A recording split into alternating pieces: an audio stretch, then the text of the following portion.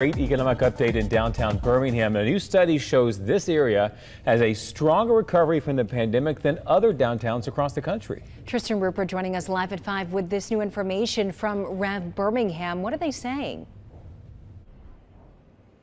Morgan, overall, they have good news. They believe that downtown has really bounced back post pandemic, and they've been monitoring a few key factors or numbers really to further support this theory of theirs. They say while occupation is down 3%, they say that that's because they have 1,100 new residential units or opportunities available downtown. Now, Rev Birmingham has also worked to keep track of the number of employees that are visiting downtown, not just those that have an office space, but those who are consistently going to the office. And that's more than a million visits last year alone. That means more people are spending money and time downtown.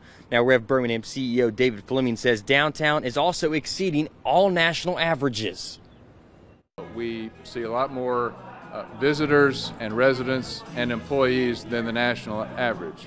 I think the challenges are that the south half of downtown has had a stronger recovery than the north half.